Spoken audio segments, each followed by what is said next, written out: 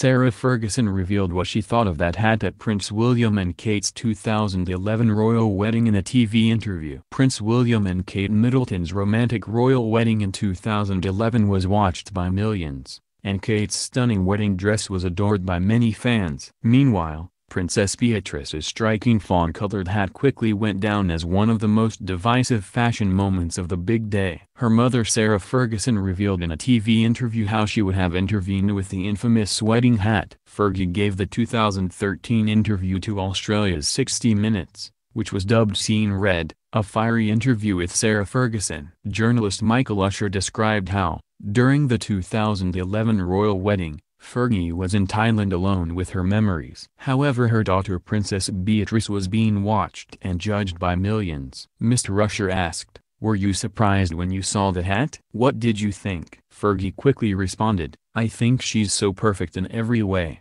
I think Beatrice had the most incredible outfit on, she looked really good. However she revealed that she would have swapped the infamous hat for something else. She said, I think if I'd been here, maybe I would have made sure that the hat, a couple of days before, was different.